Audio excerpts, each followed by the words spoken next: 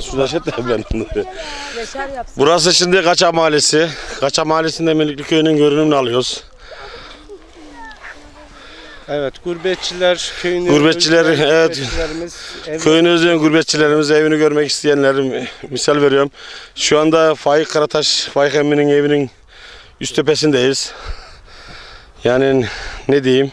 var mı gurbetçilere söylemek istediğin bir Var şeyler mı? Var mı muhtarım? Yani ne diyeyim gurbetçilerimizden sadece köyümüzde yapılacak işlerden destek bekliyoruz. Evet. Yani desteklerini esirgemeyen kişilerden Allah razı olsun. Her zaman yanımızda bulunsun. Yani köyümüzün bazı sorunları var.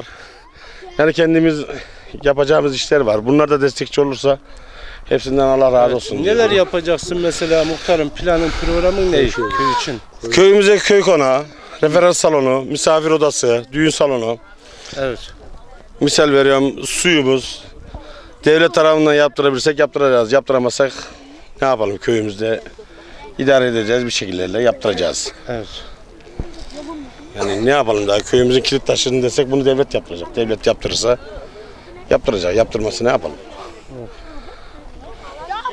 Yani şu anda da bazı analarım bacılarım çok istekte bulundu. Yani bunu saygıdeğer Yozgat valimiz valimize Akdağ Madeni kaymakamımıza saygıdeğer AK Parti ilçe başkanına yani arz ediyorum yani bu köylümün istediği ihtiyaçlarını giderirse hepsine Allah razı olsun. Sayın Cumhurbaşkanımız Recep Tayyip Erdoğan gibi tek millet, tek vatan, tek yumruk. Her zaman milletimizin yanında olacağız, devletimizin yanında olacağız. Biliyorum, biliyorum. Biliyorum, biliyorum. Ne diyeyim? Yani ne diyeyim, tek millet, tek devlet olmayı düşünüyoruz.